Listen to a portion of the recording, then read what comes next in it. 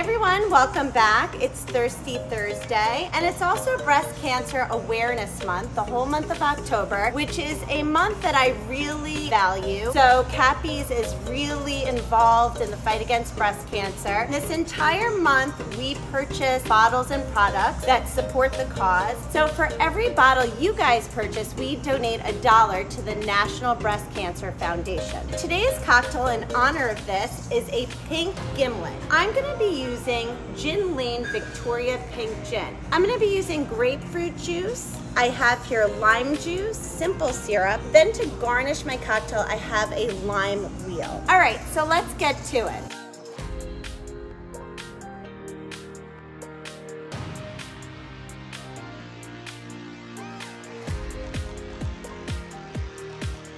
So everything's in my shaker. I have this lovely martini glass which I always love to serve my pink drinks in fancy glasses.